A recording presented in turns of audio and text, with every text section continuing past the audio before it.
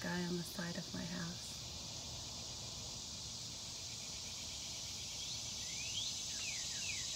Really quite fantastic.